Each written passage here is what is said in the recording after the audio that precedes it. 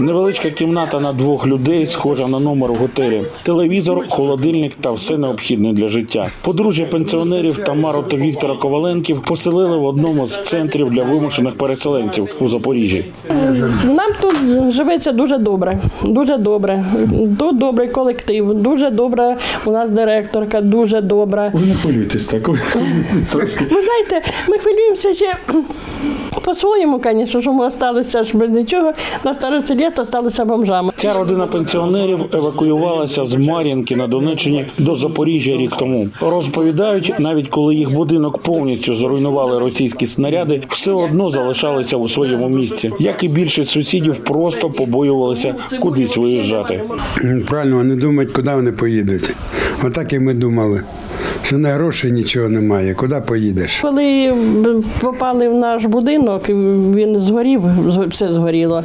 І ми в чому були в тому вис- вискочили. Ми в школі в підвалі. Ми ще в школі в бомбоубіжищі ще місяць прожили там.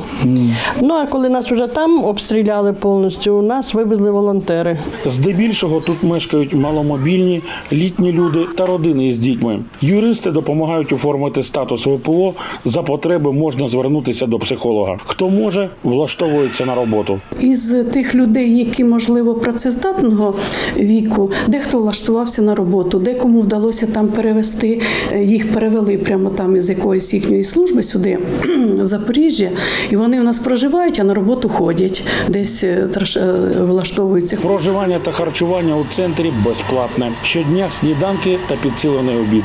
Зазвичай супи різні, каші, м'ясні гуляші, е, булки, солодкі, чесноки, пап- пампушки чесникові. Робимо сухарики, компоти, чаї, соки. У центрі є інтернет та сучасна бібліотека, яка серед мешканців користується неабияким попитом. Читають е, українську класику з великим задоволенням читають і Коцюбинського, і Кобзар е, читають. А також романи. Ну, на будь-який смак люди намагаються знайти те, що їм цікаво. Детективи, романи. Дуже приємно відзначити, що читають от саме українську класику. Найгучніша кімната у закладі ігрова. З родинами у центрі живуть три десятки дітей. Старші навчаються онлайн. Малеча бешкетує під наглядом вихователів-волонтерів. Бери, сильно-сильно маши. Вот так. И прячем нашу рыбку. Прячем рыбку. Видно рыбку?